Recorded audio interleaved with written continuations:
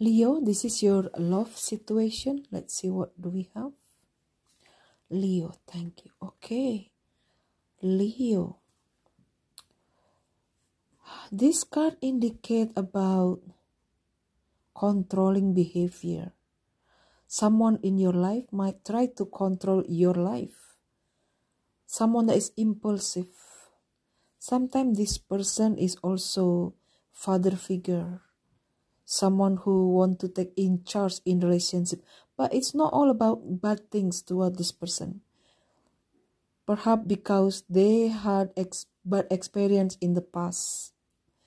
This card is also indicate that someone new if you if you met someone new this person could be someone that is good provider in financial okay take care namaste